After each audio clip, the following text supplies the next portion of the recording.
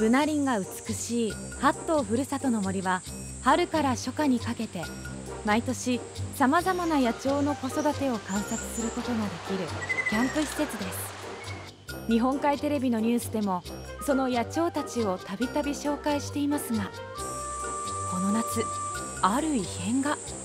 例年に比べると1ヶ月遅いんですね。まあ異常気象だとかっていうこともあるのかもしれないですけど。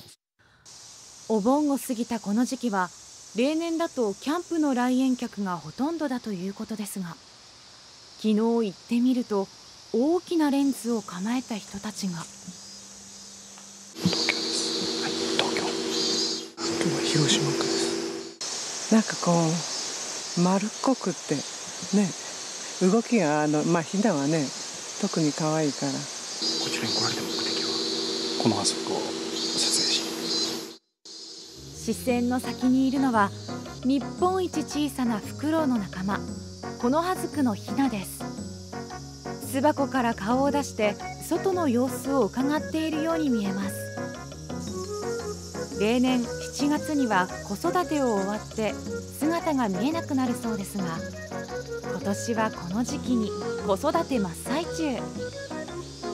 ヒナがいる巣箱の上を見てみるとそこには親鳥の姿が。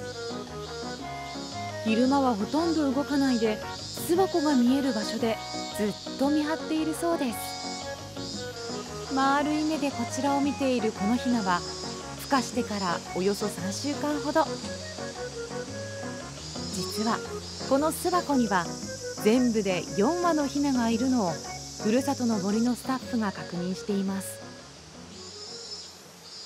去年も同じ場所で3羽、えー、孵化して巣立ってます。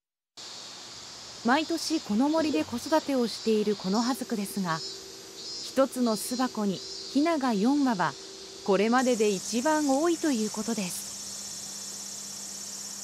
可愛いね。あのちっちゃいからね。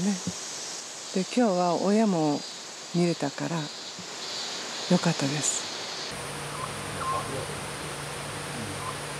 声の仏法僧とも呼ばれるこの葉族ふるさとの森では夕方から午後9時頃までライトアップを行っていてこの葉族が飛び回る姿も観察できます。